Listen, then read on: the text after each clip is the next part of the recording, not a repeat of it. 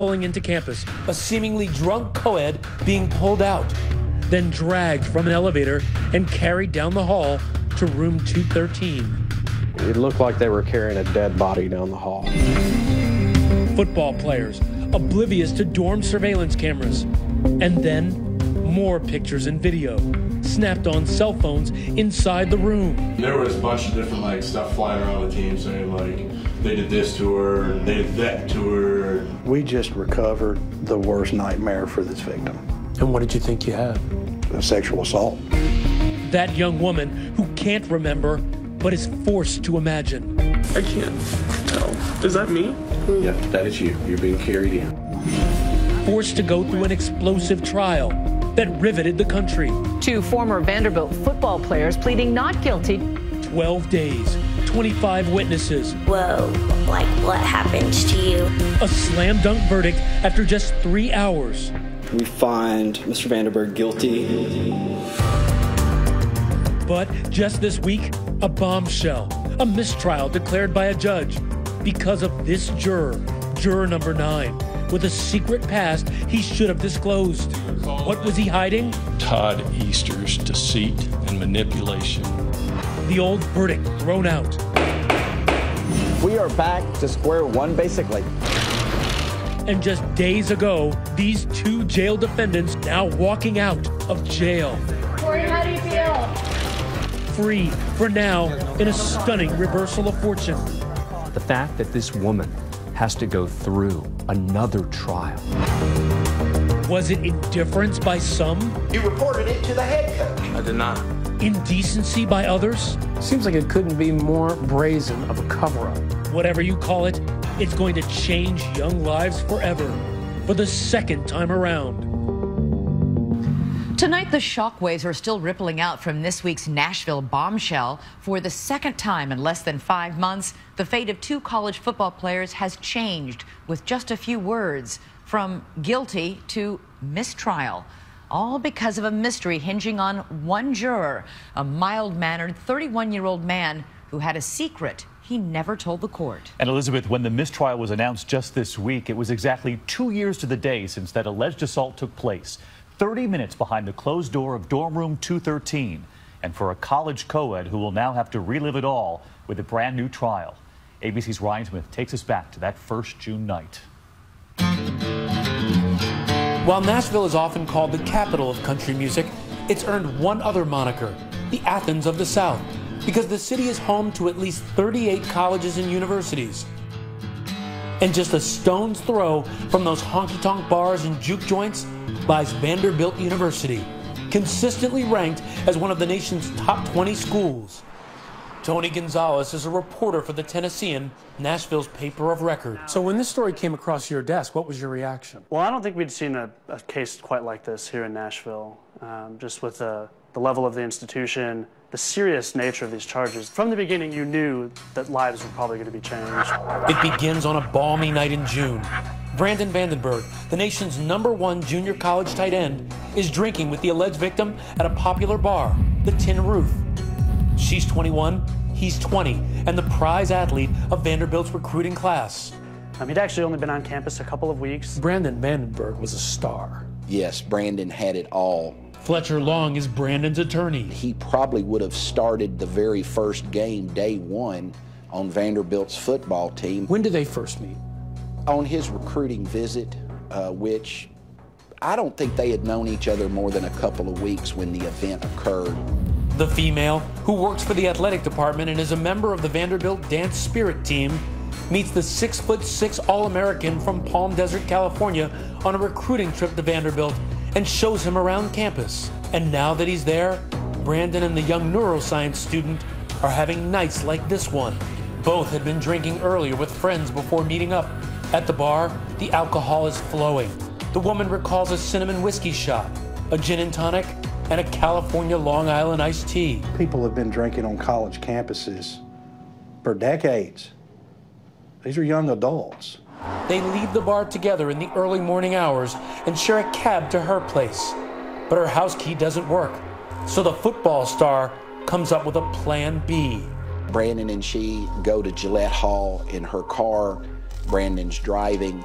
and an evening of casual fun moves to a new venue, his dorm, Gillette Hall. By the next morning, a serious hangover is the only evidence of a night of excess. She woke up, she didn't know what happened. And that's where the story might have ended, were it not for this broken door, discovered completely by accident. It is an unrelated act of vandalism that occurred over the weekend. But by dumb luck, a maintenance worker notices it and alerts campus police on Monday. The cops go to the surveillance video looking for a culprit. What they find instead is a Vanderbilt video like no other. They were reviewing hours and hours when they found, obviously, some alarming footage. So whoever broke that door broke this case open. In this exclusive security surveillance video, obtained only by 2020, we see Brandon and his apparently inebriated date pulling up to the dorm. When the car pulled up outside of the dorm and the young woman was unconscious, essentially Brandon Vandenberg asked for help to move her into the dorm. June 23rd, 2:32 a.m. While a police cruiser sits off in the near distance, the 20-year-old football player carries the young woman out of her black Mercedes-Benz and into Gillette dorm. Brandon and his three Commodore compatriots laughing and smiling. ABC News is blurring the images to protect the identity of the alleged victim. These were all members of the football team at that time. They all knew each other at least a little bit. What's your interpretation of what he's doing at that point? There's no indication that there was any nefarious intent to get her to the room. There are students all over Gillette Circle. They're seeing him walk into the front lobby of Gillette. Nobody says boo. In many ways, for you, it's not uncommon that these four young men would carry her upstairs and no one would say a thing. It didn't appear uncommon to any resident of Gillette Hall. Then, at 2:35 a.m., the woman is dragged out of the elevator and dumped onto the hallway floor. Cell phone pictures are taken of her as she lies on the ground. One student moves in for a close up. She is then moved down the hall and into room 213. It looked like they were carrying a dead body down the hall. The surveillance footage shows that in those the next half hour or so, um, the young woman ended up back out in the hallway. She was moved. She was dropped. Shortly after 3 a.m., the woman has been inside room 213 for nearly a half an hour with four men and a fifth who claims to have been sleeping. Brandon, now wearing red shorts, walks out with a towel on his head and throws it over a surveillance camera. If they were trying to conceal their identities, they were a little late. Later, all the players involved exit the room, and in fact, some exit the floor entirely, leaving Brandon to figure out what to do next. He makes a phone call to other teammates, and they run to his rescue. They were in complete cover up mode. He came to Vanderbilt University and was made it about two weeks before he got into an ordeal of a lifetime. An ordeal, the defense says, that could have been prevented. Campus cops are in the area, but they're investigating another matter. They have 1,200 cameras all over the campus with apparently no one watching on the other end. What happened when they saw this footage? What did authorities do next? As I understand it, um, an investigation began immediately on campus that involved athletic staff, it involved the deans and other campus staff, and very quickly the city police got involved.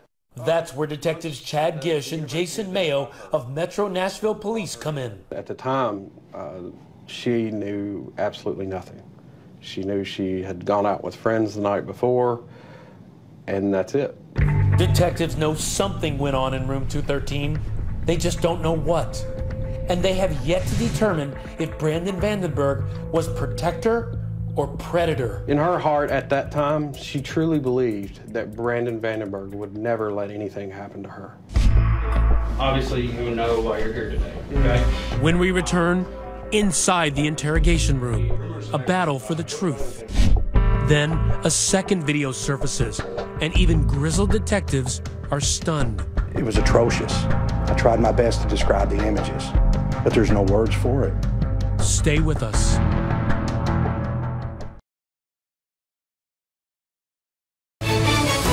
2020 continues with reversal of fortune. Once again, Ryan Smith. Well, the race is on and here comes Nashville, Tennessee. The third coast, as it's often called, home to some of the country's biggest stars and best colleges. But there's evidence of misconduct in Music City. Vanderbilt University's campus police have accidentally stumbled on a suspicious surveillance video. A young woman, helpless and half clothed, in the clutches of football players, being dragged seemingly unconscious through a dorm hallway after a night of hard drinking. But what actually happened? Typical college hijinks or a crime? Campus police go to the pros. Digital forensic investigator Chad Gish and sex crimes detective Jason Mayo of Metro Nashville Police. Their alarm bells go off immediately. I didn't know what happened, but I thought something did happen. It didn't take a whole lot of investigation skills to understand what we thought we had on our hands at that point. And what did you think you had? A sexual assault. Mayo parades a who's who of Vanderbilt students in for questioning, beginning with the 21 year old woman in the video. The honor student says she has no memory of what happened after fireball shots and mixed drinks at the Tin Roof Bar, and no recall of any alleged assault. How often do you have a case where you're called about a victim and not the victim coming to you about a possible sexual assault? I've never investigated an adult case where the victim didn't already at least suspect something. In their first meeting with the alleged victim, Detective Mayo shows her screen grabs from the surveillance video. In addition to blurring the video, 2020 is altering the young woman's voice. I can't tell. Is that me? Yep, that is you. You're being carried in. How much do you think you had to drink that night? I don't remember. So you don't remember anything once you left the tin roof? Right. Until you woke up the next morning? Right. Now, when you woke up the next morning, you had no, there was no pain. I didn't have any pain. Nothing to make you think that anything took place during the night. I felt really hungover, but I wasn't in any pain that would make me think I'd been assaulted. But detectives still suspect foul play. Next step identifying the four Vanderbilt football players seen in the video. At the center of the storm, new recruit Brandon Vandenberg. He's been in a relationship with her. They were drinking together at the Tin Roof that night. With him are his new teammates 19 year old Brandon Banks, 19 year old Nashville native Corey Beatty, and 18 year old sophomore Jaborian Tip McKenzie. All four seen entering dorm room 213 with the woman, staying inside for 30 minutes. Two days after the alleged incident, all four meet up again at a restaurant. Detectives think it's so they can get their stories straight.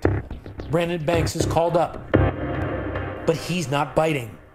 What was your involvement inside the room? I ain't touched that girl. Other than moving it. Who did touch her? I don't know. So you were in the room and didn't see anything? I didn't see anything. I, I get what you're doing, sticking to the story and not wanting to sell out your teammate or snitch. If that's the story you want to stick with, okay, roll those dice, buddy. Because I'm telling you, it'll end up bad for you. Mayo also questions other players who were not in the room but seen in the hallways at the dorm that night. They tell consistent accounts of seeing the college co-ed. What condition was she in when you saw her? She was passed out. Basically, like her shirt was so it's kind of pulled scrunched up. Yes, sir, like up here. Okay. She, she, naked. she, she looked like she was dead. Face down. It looked like she had been slapped on the butt. But Mayo zeroes in on the conversations the students say they had with Brandon Vandenberg that night. Conversations that, for star wide receiver and team leader Chris Boyd, sounded incriminating. His story kept changing, and he just kept just talking like he's going 100 miles per hour. I think he was just kind of in shock. They didn't really know what to do. But Commodores quarterback Austyn Carta-Samuels tells police Brandon Vandenberg claimed he was blameless. Did anything ever come up about that he was involved in any kind of sexual activity with her? No, he claimed that he didn't over and over again. Did he ever claim who did have sexual contact with her? He just alluded to other guys. He just said other guys. Okay. Austyn says he also spoke to Tip McKenzie. He told me that he was extremely scared just because he said that he had had no part in anything that was going on in the room. And so he just wanted to tell me like that he hadn't done anything.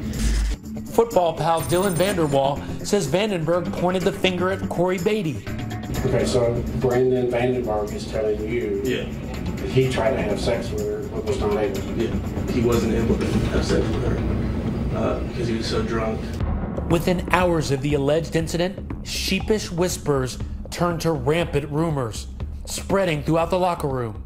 There was a bunch of different like stuff flying around the team saying like they did this to her, they did that to her. And it was just the most like disturbing things I've ever heard. Jake Bernstein, a football player and the woman's ex-boyfriend, is appalled. Uh, that's when I told her I was like something might have happened to you this weekend that you may have not recollected. But during her interview with police, she seems to be giving Brandon the benefit of the doubt. My feeling is that Brandon didn't do anything. I'm really concerned that I think he was just trying to help me, and I feel like he's getting in trouble for trying to help me. Nobody's in trouble. Because like I didn't want to. You know, I don't think he should have like left me laying out, you know, in the street or something. And she goes even further, telling police that the day after the alleged incident, the couple had consensual sex. I've been like seeing him. Like, he's one of my. Like I trust him. She didn't believe at that point she had been raped. No, she's her in her heart at that time, she truly believed that Brandon Vandenberg would never let anything happen to her. Police suggest a rape kit, even though it's past the recommended 72 hour limit. She reluctantly agrees. Would you be willing to go around to the emergency room and have a medical legal exam? I mean, would that tell me if something happened or not? It could or it couldn't. The kit would provide no proof of an assault, but police say something else soon would. It turns out there are yet more videos discovered by the two detectives, but these were recorded inside room 213, and police believe they will be the smoking guns in this case. When we come back, police think they found a treasure trove of digital evidence and an incriminating Google search. Can police retrieve deleted picture messages? Turns out they can. Like they're gonna find all the videos, dude. Stay with us.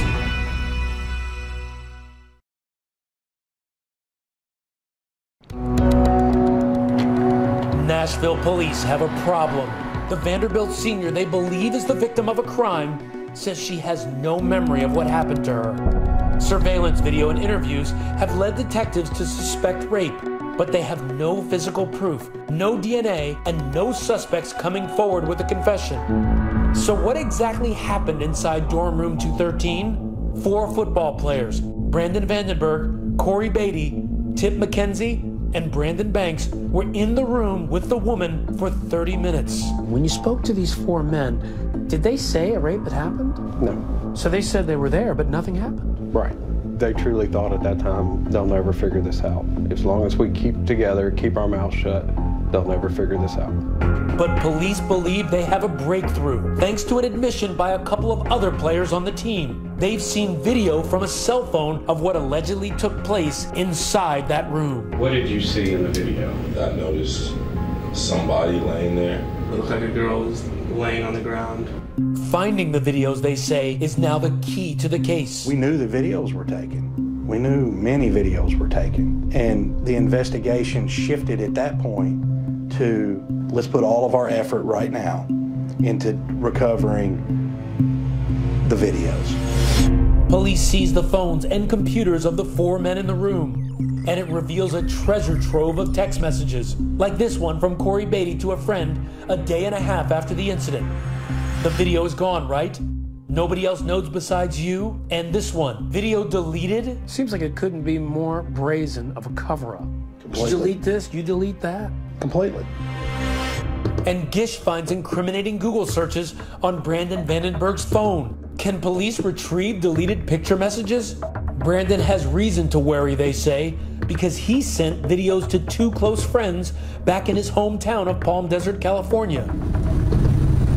Four weeks after the incident, the detectives are on a plane. First stop, Joey Quinzio, one of Brandon's best friends since age 13. He couldn't believe that we were there. But he knew why we were there. He knew immediately. He knew. Brandon sent you some text messages and a video. Did you watch the video that he sent to you? I did. You didn't? No. Okay. But friend Miles Finley reluctantly admits he's seen it. Phones don't lie, man. That's why we're here. The video I got was just of this black dude playing with a girl on the floor. Playing with a girl on the floor how? What were they playing? Uh, doing stuff between her legs. After seeing the video, Finley warns Brandon in a text she can call rape, delete that expletive. Then some repulsive advice. Dog, kick that expletive out or gangbang her. Don't let her wake up. Why did you say that? I wasn't being serious. When you see something going on like that and it's a rape, maybe you should go call the police. Did that ever occur to you? Maybe I should tell somebody about what I just see. I knew it would come out. Sounds like Brandon does too. Just 30 minutes after the incident, he phones friend Joey Quinzio and says, I'm in dude. You gotta call me back. Police say that what Brandon and his friends did next was an attempted cover up. Finley claims he dropped his phone in a pool. It was cracked, and you know, it's time for a new iPhone. So did you trade it in? You tossed it in the trash, and you I see threw it out. Quinzio claims his phone was stolen. Okay, did you report your phone stolen to Apple so they could shut it down? No. But it didn't matter. Police find those elusive videos after all, backed up on Quinzio's hard drive. His phone automatically synced the video to his computer. For the detectives, it's the nail in the coffin. Hardest thing I probably ever had to look at. And um, I knew right then that all of the pieces were falling into place. There she is, being raped. We just recovered the worst nightmare for this victim. According to police, the videos show Brandon Banks taking intimate and inappropriate photos of her body, and Banks and Corey Beatty using their hands and even a water bottle to penetrate her. And investigators say Brandon Vandenberg is heard callously giggling and egging the others on. All along, the four players have stuck to their plan deny, deny, deny. But what they don't know, players are turning on each other. Brandon Vandenberg agreed to call Corey Beatty, with police recording the line and attempt to get Beatty to confess. This bad, dude. What they say? Dude, we're that they got like videos of everything, like the videos that I took of you and the like when I was in the room, you know. Yeah. Mm-hmm. I'm pretty sure the video I took, like, it didn't have you, it didn't have you like having sex with her or nothing, but you know, it had like either you or uh, Banks like her. I don't know how much trouble you can get in for that. Beatty keeps quiet in that call, but another player has broken rank. Tip McKenzie has caved, and he's pointing his finger at his best friends Corey Beatty and Brandon Banks. Corey Beatty approaches the girl first. So as a as a joke, he's really clowning. He's drunk. He's like, "Hey man, get this on camera." He's messing with the girl. His hands down there like he's touching her, in you know, in a sexual way. What was Banks doing? Banks just had the bottle. If I'm understanding right, the only people who did anything to her, either with a bottle or their hands, are Beatty and Banks. Yes, ma'am. Did Vandenberg ever touch her, participate in the clown, touching her or anything like that? I really don't think so. I'm not. I'm not sure, but as I can remember, I don't think he did. That interview and the videos, it's more than enough for prosecutors to make a case. Once we saw the evidence, we were just appalled. Vanderbilt has already kicked the four players off the football team and out of school. And August 9th, less than two months after the alleged incident, they are charged with rape. Today marked day one of the trial. Next, the trial. Contentious moments in the court. Don't look over there. I'm asking you a question. A controversial defense. Blame it on the booze. Blame it on the alcohol, correct? Uh, is that a question? And one of the defendants, Corey Beatty, makes a shocking admission. Do you take responsibility for your conduct? Stay with us.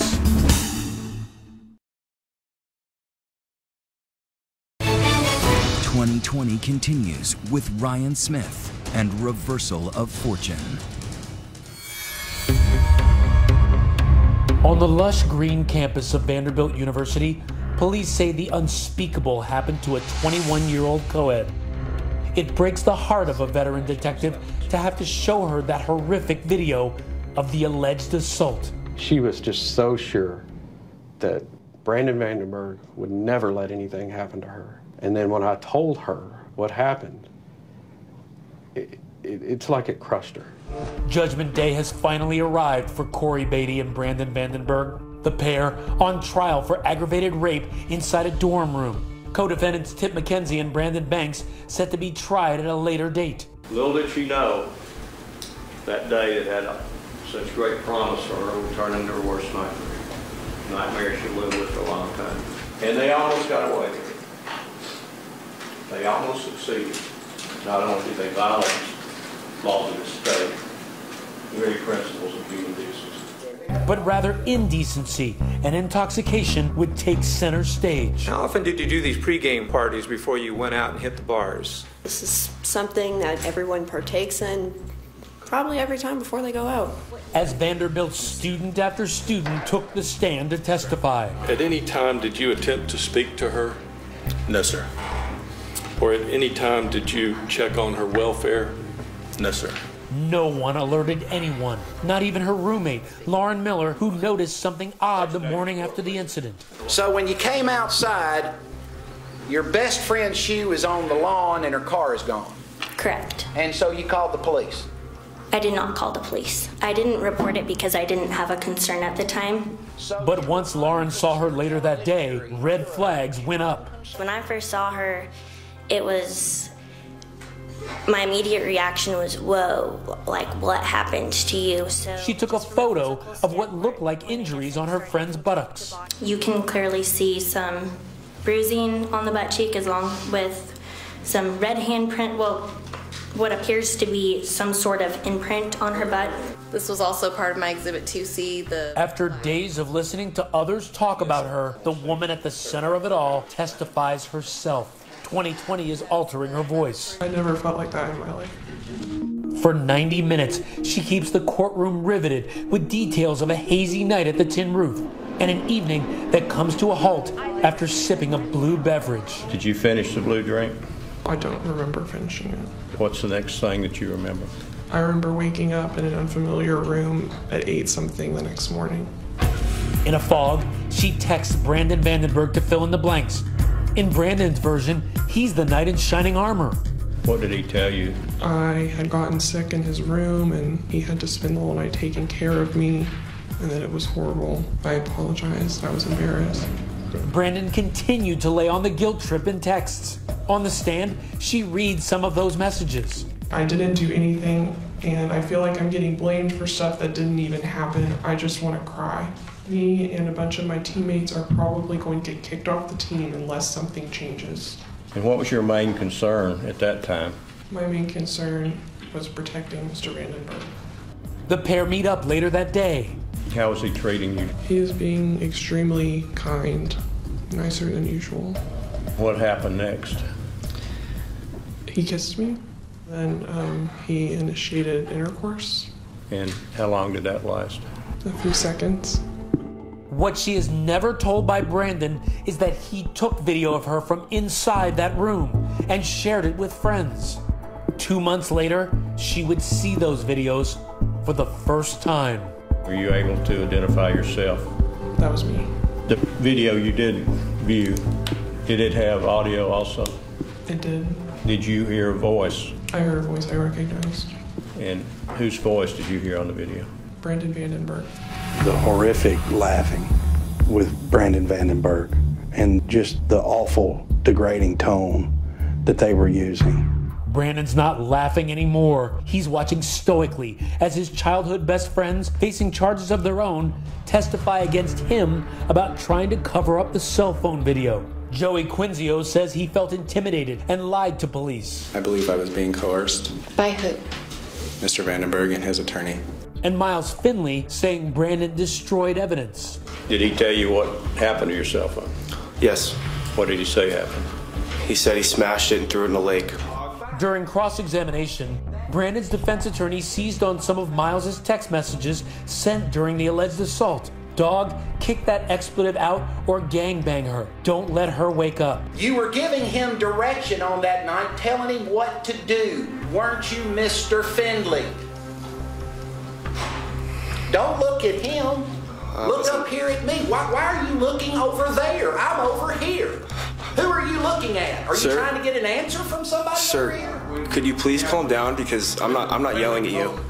And eventually he does calm down and attempts to make a distinction that his client did not penetrate the victim sexually and therefore should not be charged with rape. He is taking responsibility for what he did. He shouldn't have taken those photographs. He shouldn't have sent those photographs. That is what he did. What he shouldn't have to take responsibility for is what he didn't do. But for Corey Beatty, the defense is tougher. Remember, police say he was seen on video touching the woman, so his legal team throws a Hail Mary and calls Corey himself to testify, something defendants rarely do. Corey, who grew up in a rough part of Nashville and whose mom works at Vanderbilt, appears nervous, but is sure to make eye contact with jurors. At times, his memory is razor sharp. But ask him how photos of her got on his phone, his mind goes blank.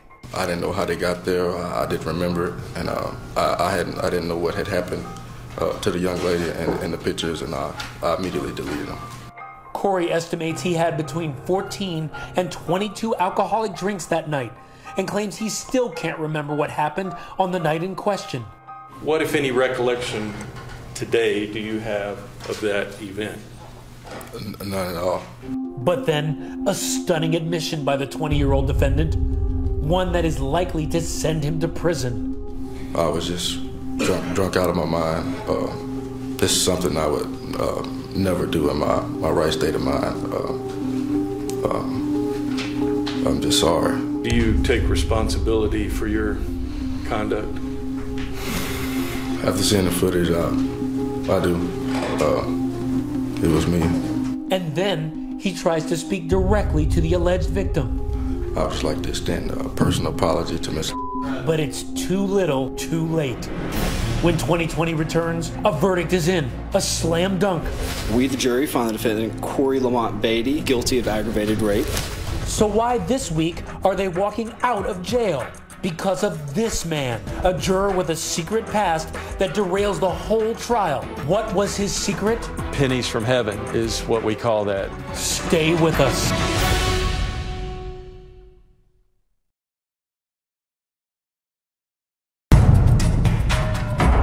After 12 days and 25 witnesses, prosecutors and attorneys for the two football players accused of raping a fellow Vanderbilt student made their final pitches to the jury. You heard testimony from many witnesses, but you also have physical evidence. You have photographs. Photos and video of the alleged assault that were explosive and got traction with the jury. Horrified. Horrified and utterly disgusted. Defense lawyers for the two young men, Brandon Vandenberg and Cory Batey, took different approaches. Batey's attorney, Worrick Robinson, suggested that the anything goes party culture on campus was the real culprit. What was the culture for Cory Batey? Culture encouraged underage drinking, consume alcohol to the point where you pass out or can't remember. Brandon Vandenberg's attorney took a different approach, claiming his client was a virtual bystander and only filmed his teammates allegedly assaulting the college co ed. I think Mr. Vandenberg's biggest defense is that is not I, and I should not be held accountable for the actions of others. Honestly. He maintained that Brandon's only mistake was taking pictures. He took photographs that he never should have taken. After just three hours of deliberation this past January, the jury decided the fate of the two young men. In regards to Mr. Vandenberg, um, count one, we find Mr. Vandenberg guilty of aggravated rape.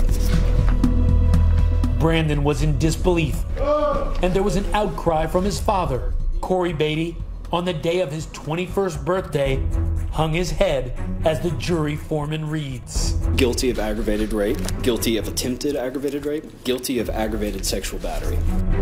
That's the voice of jury foreman Todd Easter, the very man at the center of the storm this week. While I was reading it, um, my only goal was to stay focused and deliver the justice as best I could directly to their face as I tried to. But now, he's the one being looked square in the face. I sat down with Easter and two of his fellow jurors immediately after the verdict, long before he would be the subject of scrutiny. So take me into the deliberation room. Your first job is to appoint a foreperson. Tell me how that happened.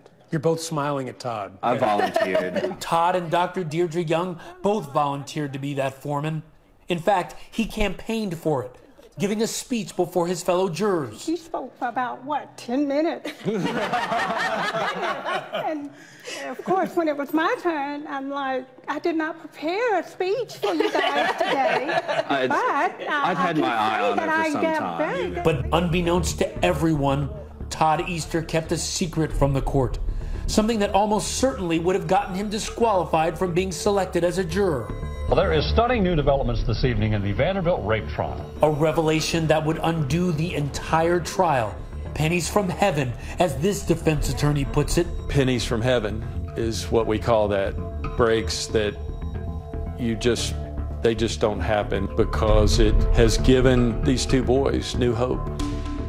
It turns out Todd Easter himself was the victim of a sexual assault. In 2000, Easter was in a sexual relationship with a man named Matt Swift.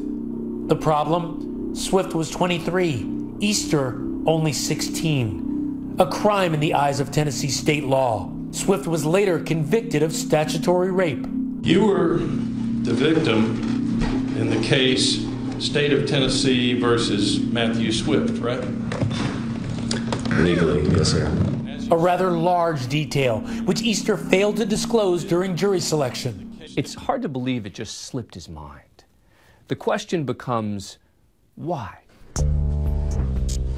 So last week, on what should have been sentencing day for Cory Batey and Brandon Vandenberg, Your Honor, we call Mr. Todd Easter to stand.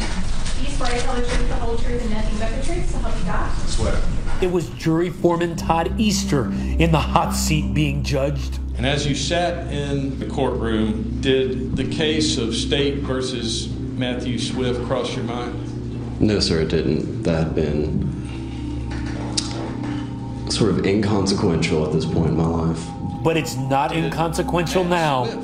Vandenberg's attorney hammers away at the many instances jurors were asked if they had ever been a victim of a rape. 104 times Mr. Easter was asked those questions. But Easter said he didn't view what happened to him as rape. Do you believe you were a victim of any sexual assault or rape? Absolutely not. So it was all consensual, right? Correct. The defense's argument, And you didn't Easter's desire to be on the jury, campaigning to be foreman, all based on bias. They asked the judge for a mistrial. Todd Easter is not a victim judge. The justice system is the victim of Todd Easter's deceit and manipulation. That's the victim. And now, just this week, the judge makes a bombshell decision, declaring a mistrial.